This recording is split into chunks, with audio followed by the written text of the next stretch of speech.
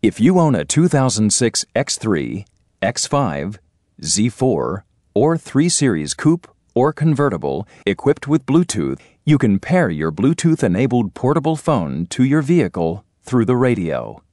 Pairing is a simple process involving setting your vehicle to pair mode and then prompting your phone to find your vehicle.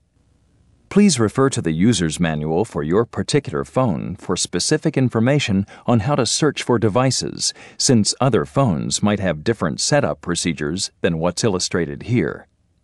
Your phone needs to be inside the vehicle and turned on in order to pair it. When you first turn your vehicle on, it is automatically in pairing mode for about two minutes. Open your phone's Connections menu and select Bluetooth then have the phone search for new Bluetooth devices. When your phone has located your BMW, it will display an 8 character ID, starting with BMW and ending with the last five digits of your vehicle's VIN number.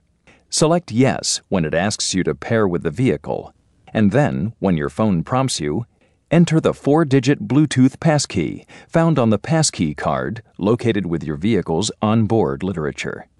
Please note that you have about 20 seconds to enter the passkey, otherwise, the process is aborted and you have to start over. Your radio will display this text message indicating that the pairing was successful. Once the connection is made, your directory and other information stored in your phone is transmitted to the vehicle, where you can access it through your radio.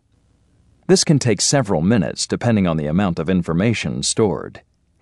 Your Bluetooth phone can also be accessed by using the voice command system.